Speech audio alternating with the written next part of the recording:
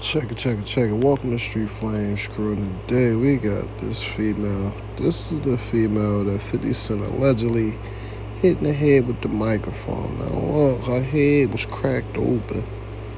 You know, I hope the victim get well, but you know, apparently 50 Cent was mad that his microphone wasn't working and they had to cancel his show. So he beamed, he allegedly beamed the microphone at this show shorty head. It wasn't intentionally, but you know. Frustration could cost you a bag, man. Now this gonna cost 50 a couple million. I don't know what he gonna do, but he might as well just settle Shorty out in court. But let me know what y'all think. I'm out.